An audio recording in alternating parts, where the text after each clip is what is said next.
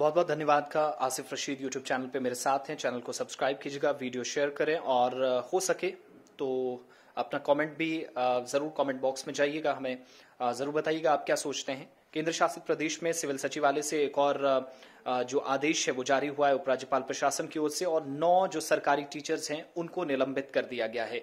ये फैसला उस समय लिया गया जब जम्मू कश्मीर केंद्र शासित प्रदेश के अंदर पिछले वर्ष आप देखेंगे तो जुलाई के महीने से हम निरंतर देख रहे हैं कि कार्रवाइयाँ प्रशासन की तरफ़ से की जा रही हैं और सबसे बड़ी बात है कि कहीं पर देश या राज्य विरुद्ध गतिविधियाँ अगर कहीं पर रही हों वर्तमान समय में भी कई लोगों के नाम ऐसे सामने आए थे।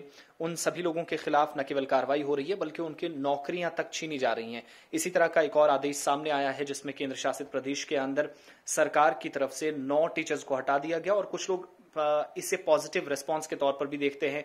अगर एडमिनिस्ट्रेटिव पार्ट पर आप देखेंगे, प्रशासन ने जिन नौ लोगों को हटाया है, उनमें एक महिला टीचर हैं। 28 तारीख को आई थिंक जून या जुलाई का, मुझे एग्जैक्ट याद नहीं है, पर जून या जुलाई दोनों में से एक महीना है। 2014 में यूएस छुट्टी पे जाती हैं छह महीने के लिए। वहाँ से वापस आने के लिए छह महीने और वो लेती हैं एक्सटेंड करते हैं अपनी छुट्टी को, लेकिन तब से आज तक स्कूल नहीं आए।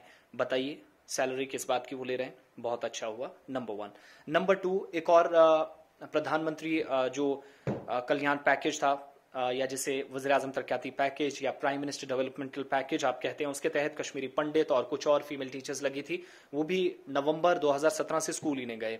तो अनऑथोराइज जो एबसेंटीज हैं, उनको आज उन पर प्रशासन की तलवार लटकी उन सभी को हटा दिया गया है और बहुत अच्छा निर्णय कुछ लोग इसे मान रहे हैं। कुछ लोगों का ये मानना है कि शायद प्रशासन को कार्रवाई में थोड़ी और जल्दी करनी चाहिए थी, लेकिन किसी के साथ गलत भी ना हो, इस चीज़ का भी ध्यान प्रशासन की तरफ़ से रखा जाना चाहिए। उपराज्यपाल, लेफ्टिनेंट गवर्नर जिन्हें आप कहते हैं, मनोज सिन्हा, जम्मू कश्मीर के अंदर इस वक्त केंद्र शासित प्रदेश में बड़ी ज़िम्मेदारी उन पर है।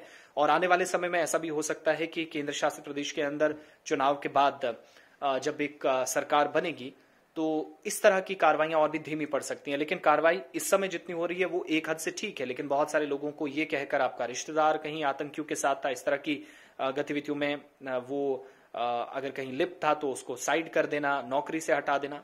थोड़ा सा उनके परिवार का भी सोचना पड़ेगा। बहरहाल, आज का जो ऑर्डर है, उसमें बहुत हद तक पॉजिटिव रिस्पॉन्स है। नौ लोग हैं और सारे कश्मीर घाटी से, जो आज के समय में बॉयज़ हायर सेकेंडरी स्कूलों में या उससे निचले स्तर के स्कूलों में आज पढ़ाते थे।